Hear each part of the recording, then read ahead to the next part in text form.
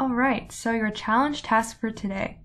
A common saying is don't poke the bear, because if you poke it, it gets angry. Robots can do the same thing. Using what we've learned today with sensors, loops, and logic, create a robot that's originally sleeping. However, when it gets poked or touched, it wakes up angry. The only way to make it happy is if it detects that you are giving it something red. If no one touches it or gives it red, it continues sleeping. Hint.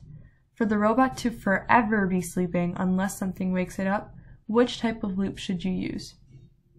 Reminder, to start your program, you must click the green arrow shown in the picture to the right. It's located at the bottom of the area with the robot on it. And to stop, you're going to press the same button again and it'll look like a square. Feel free to share your finished code with us. Yesterday we had so many amazing student submissions that are on our website underneath the student submissions tab in the camp resources area.